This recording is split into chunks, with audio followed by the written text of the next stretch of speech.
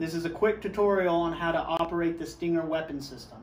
This is your battery coolant unit. You insert it into the bottom of the weapon system here, quarter turn to lock.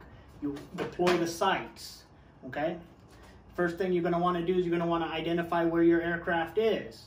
You're gonna look, you're gonna identify the aircraft. You're gonna go ahead and you're gonna put the aircraft into your sighting ring. This is your uncage button. Here's your trigger.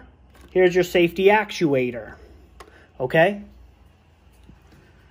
Once you identify where the aircraft is, you're going to aim above, below, to the sides of it against a clear blue sky in order to set the tracking system on the missile. This is a negative infrared tracking weapon system.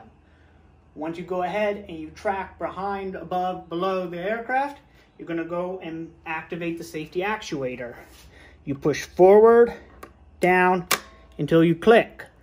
Once that is done, you will hear the missile start spinning up. The battery con control, uh, battery coolant unit only has about 45 seconds of argon gas, so you're going to need to be relatively quick. Once you go ahead and you activate on the clear sky, you go and put the aircraft back into your targeting ring. You push the uncage button. This disengages the tracking the tracking sensor at the tip of the missile. This will now allow the missile to freely target the aircraft.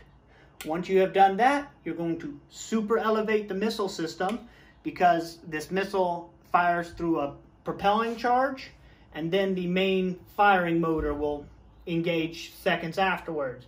If you don't super elevate, the missile will hit the ground and you won't have good effect. Super, el super elevate, push the uncage.